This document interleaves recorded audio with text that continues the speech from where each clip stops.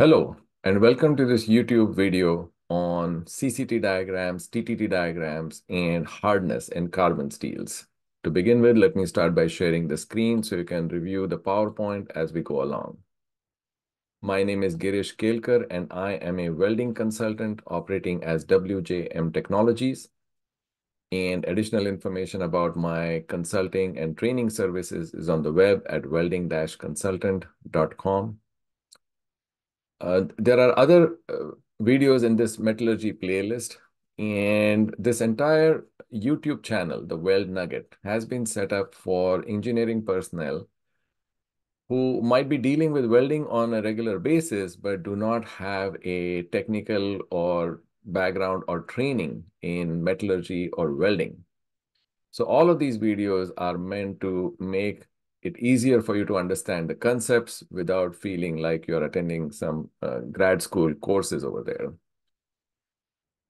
There are videos already on the playlist, including introduction to physical metallurgy, introduction to mechanical metallurgy, weld section analysis, phase diagrams, and carbon steels. So this video on CCT and TTT diagrams makes use of some of the information which has already been shared.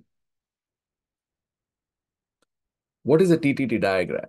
So before in one of these previous videos, we talked about phase diagrams. Phase diagrams are called equilibrium diagrams because these phases are formed at equilibrium at a given temperature. TTT diagrams add the element of time. So now we have time temperature transformation diagram. That's what TTT is.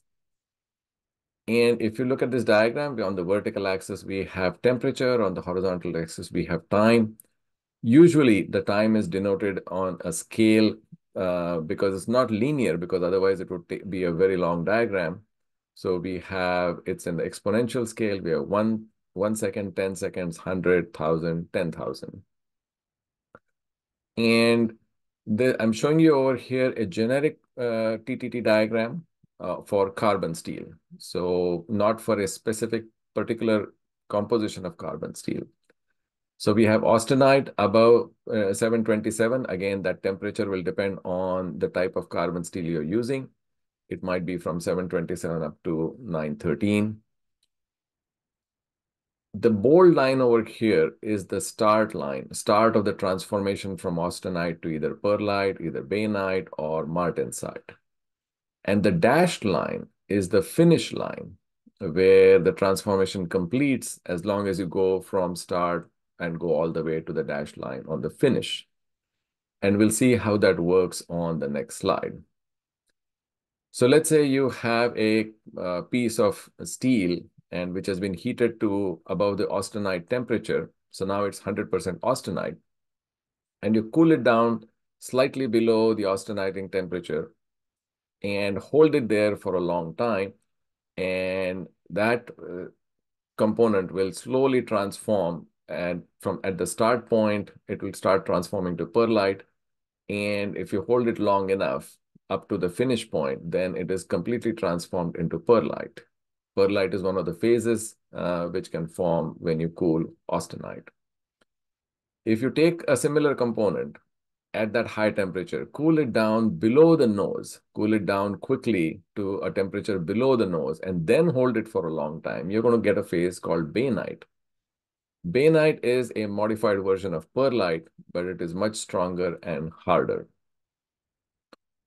The third option is to take that a steel component at that high temperature and quickly cool it down. So fast enough that you miss the nose and go all the way down to room temperature.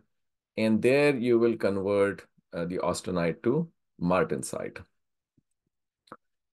Now, the TTT diagrams are more commonly used for heat treatment because a lot of the heat treatment processes require that, that you're going to raise the component to a certain temperature, hold it for a certain length of time, and then allow it for cooling. So these diagrams are more commonly used for heat treatment. But there's one situation where we come across in welding. Uh, for example, if you do not want martensite to form, then the option is to preheat the steel to a temperature higher, higher than the martensite start temperature. And then when you weld it, after welding, the component, the weld cools down to up to the preheat. And then because of the component already been preheated, it holds it there for reasonable amount of time. And if the time is long enough, then you'll get substantial amount of bainite, or it might be a mixture of bainite and martensite, but then nonetheless, it is much softer than 100% martensite. So that is a situation where we end up using these kind of diagrams if we are intending to form bainite. In reality, uh, we don't do that all the time. So there are situations where the weld might form and it just, as you as soon as you turn the energy off, the weld starts cooling, which is typically in air. And air cooling is quite fast. And so the, the phases which form might be slightly different. And hence, we have something called a continuous cooling diagram. So continuous cooling diagrams are also used in heat treatment because they are they show phases which will form when a steel component is cooled at a certain rate. So for example, this line over here represents slow cooling, which could be of the order of two or three or five degrees per second. And there's another line I'm showing over here, which is faster cooling, which will be to the left of this line, the slow cooling line. And that could be 100, 200, 100 to 150, say, degrees per second, degrees centigrade per second. Here again, we have the bold line, which is the start, and the dashed line, which is the finish. Of course, this diagram looks slightly different than the previous one, and we'll review that.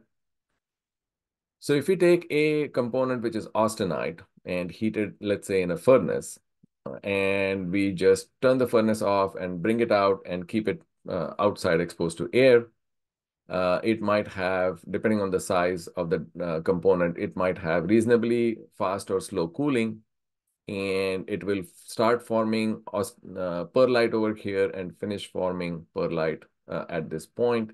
And after that, it just cools down to room temperature.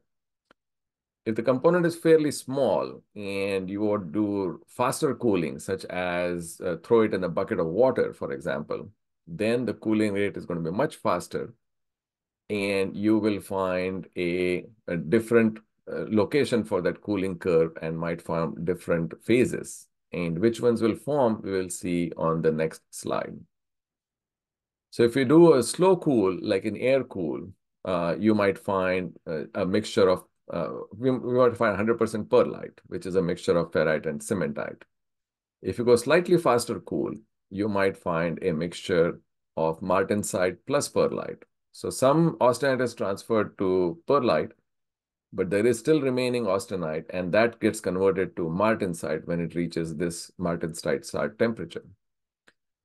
If the cooling rate is fast enough that you miss the nose, this is called the nose of the diagram. If you miss the nose, then the steel is completely transformed to martensite. So at a critical cooling rate, so this number three is the critical cooling rate if you are just at this cooling rate or faster, then you're going to form uh, the entire Martens austenite is going to transform to martensite. So here it is interesting. You do not form bainite when you, uh, in carbon steels, when it is cooled at a fixed rate with, without preheating. So there will be a lot of welds where you do not form bainite as long as there's no preheating in carbon steels. Now, how much martensite will it form and how hard it's going to be can be gauged from this chart over here. We have hardness on the vertical axis, carbon percentage on the horizontal axis. So for a given amount of carbon, uh, the amount of martensite maximum which can be formed, uh, this is based on the hardness measurement. So for example, if you have 0.4% carbon, uh, and you measure the hardness and hardness ends up being close to around say 62, then you know that all the austenite was transformed to martensite. That means the cooling rate was fast enough. So the cooling rate was faster than this location three over here. Martensite is a very brittle phase and can reduce the fatigue life and also cause hydrogen-related cold cracking. So some strengthening of the weld by formation of martensite is fine. But if there's too much martensite, then you may have to take some corrective actions.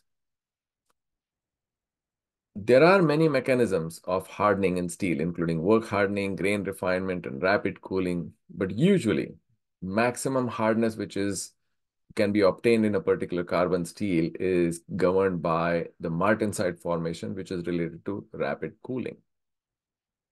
Usually, if you have a hardness above 40 HRC, that is considered detrimental. So if you go back over here, so above 40 HRC means a carbon content of slightly more than 0.1%. So if there are any steel components where you have carbon content more than 0.1, say 0.12%, and the cooling rate is fast enough, you are going to be above 40 HRC.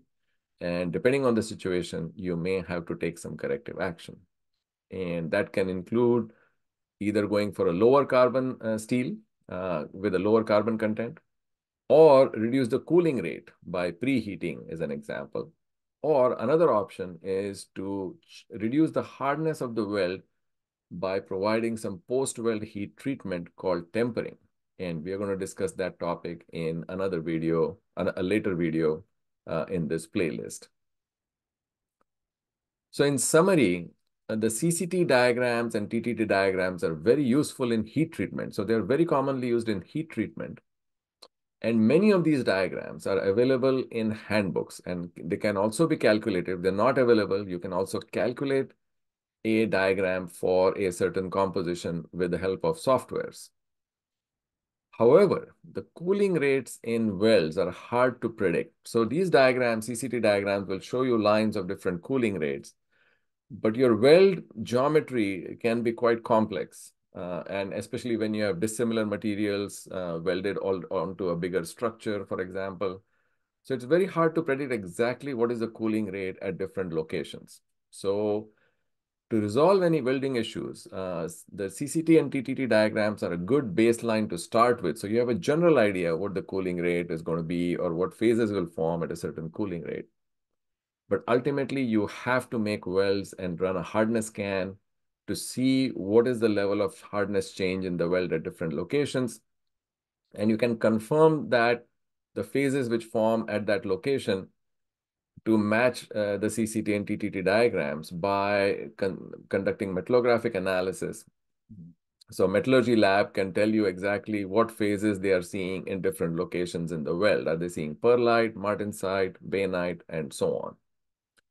Now keep in mind that this discussion we have in this video is primary for primarily for carbon steels. Uh, as we add more alloying elements into carbon steel, these diagrams and the shapes of these CCT diagrams change and it affects the, obviously affects the welding. And all of those topics we're going to discuss in other videos, which will be presented later. Okay. I want to thank you for your time. And if you're interested in learning about welding and joining, please do subscribe to this YouTube channel. Uh, there are many videos on different topics in different playlists on this uh, YouTube channel. And I'm sure you'll find quite a few of them to be of interest. Uh, once again, thank you for your time and wishing you the very best in your efforts to improve the welding quality. Take care.